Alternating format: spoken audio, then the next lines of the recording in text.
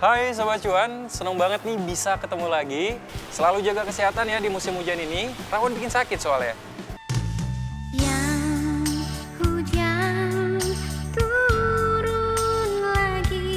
Sama ada satu lagi nih musim yang harus jadi perhatian Sobat Cuan sekalian, yaitu musim laporan keuangan emiten yang jadi momentum untuk evaluasi fundamental harga saham suatu perusahaan yang tercatat di bursa saham. Nah pertanyaannya, kenapa sih memeriksa fundamental harga saham ini jadi penting? Ya jelas dong, soalnya ini bisa bantu Sobat Cuan sekalian yang masih kebingungan mau pilih saham yang mana untuk dikoleksi di dalam portofolio investasi. Salah satu caranya adalah melalui model analisa valuasi relatif yang biasanya terdiri dari enam bagian, yaitu rasio profitabilitas, rasio likuiditas, rasio aktivitas, rasio solvabilitas, rasio harga pasar, dan rasio hasil dividen. Nah, sekarang yuk kenalan sama rasio saham ini supaya Sobat Cuan sekalian bisa ngebongkar jeroan emiten yang sahamnya sedang Sobat Cuan incar. Yang pertama, earning per share atau EPS untuk menganalisis laba perusahaan yang dibagi per lembar saham.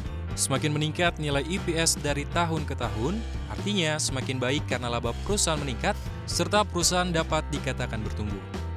Apabila suatu saham memiliki nilai IPS sebesar Rp250, artinya saham ini menghasilkan laba sebesar Rp250 per lembar sahamnya.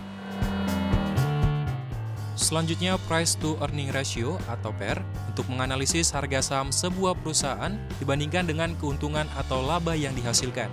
Angka PER suatu perusahaan akan dibandingkan dengan perusahaan lain dalam industri sejenis. PER lebih kecil dari rata-rata emiten lainnya dalam industri yang sama, maka harga perusahaan dianggap relatif lebih murah. Nah, saham PER yang rendah ini banyak diminati oleh investor. Kemudian ada price to book value atau PBV, yaitu rasio harga saham terhadap nilai buku perusahaan. Nah, rasio ini akan memperlihatkan besarnya kelipatan nilai pasar saham perusahaan dengan nilai bukunya. Misalnya nih, PBV sebesar dua kali, Artinya harga saham sudah sebesar dua kali lipat dibandingkan kekayaan bersih suatu perusahaan atau harga saham ini dua kali lipat lebih mahal dari modal bersihnya. PBV yang rendah sering menjadi indikator mencari saham yang murah atau undervalue. Caranya dengan membandingkan PBV perusahaan dengan rata-rata PBV dalam industri sejenis. Untuk analisis saham keuangan, PBV ini dianggap lebih cocok digunakan mengingat mayoritas aset-aset perbankan berbentuk kas, surat berharga, dan juga tagihan. Nah, untuk sektor lain, ini bisa menggunakan PER untuk ngecek apakah harga suatu saham ini masih murah atau udah nggak lagi. Oke Sobat Cuan, kini kita beralih ke rasio return on equity alias ROE.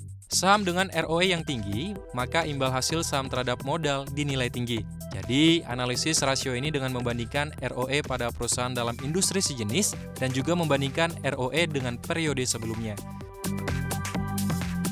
Semakin tinggi ROE, semakin baik karena artinya perusahaan dapat mengelola modalnya sehingga menghasilkan laba yang besar.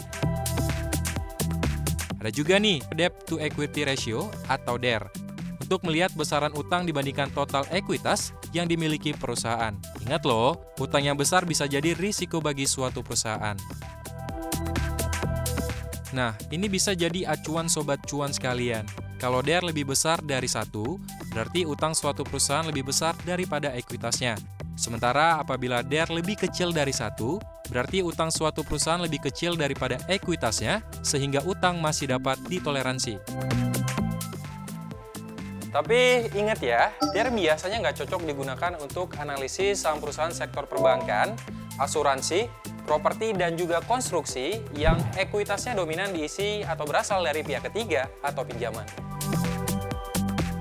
Yang keenam ada dividen yield atau DY, yaitu rasio dividen per lembar saham yang bisa menunjukkan besar keuntungan yang dibagikan perusahaan kepada pemegang saham.